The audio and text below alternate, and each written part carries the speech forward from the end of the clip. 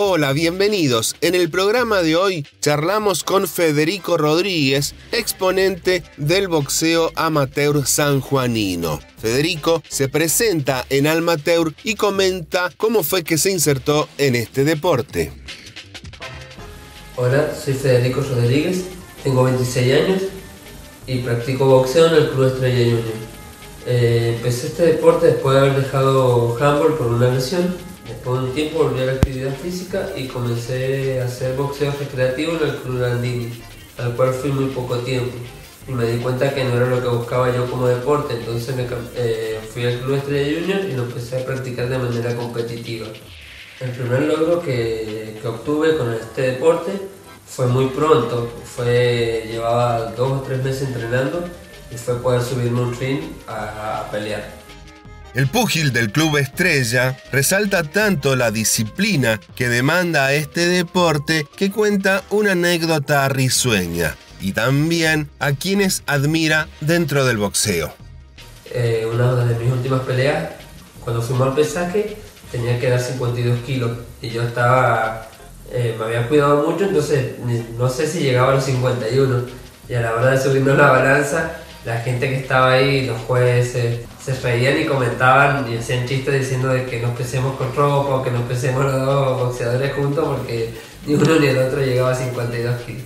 Bueno, deportistas que admiro es a Cecilia Román, a Leonel Ayúdica, eh, el Chino Maidana, Maravilla Martínez, Brian Castaño, eh, boxeadores más antiguos que me gustan mucho es Nicolino Loche, Suga Freud Leonard, eh, Ringo Bonavena, Bonet Millones pero el que más admiro y más sigo, y para mí es el mejor en la actualidad, es el Basil Lomachenko. Finalmente, para Telesol, Federico cuenta cuáles son sus próximos objetivos deportivos y qué significa el boxeo para él.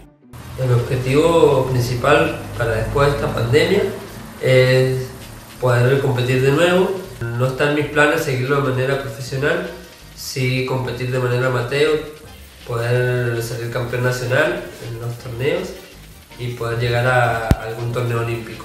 El boxeo para mí eh, significa resiliencia, es un deporte donde uno está todo el tiempo midiéndose a uno mismo, eh, donde se reconoce, sabe hasta dónde puede dar, eh, donde si te pones límites es hasta ahí donde llegas, es un deporte progresivo, la verdad que es un lindo deporte y bueno, y un mensaje que puedo dejar pues que se animen a realizarlo, ya sea de manera eh, competitiva o recreativa.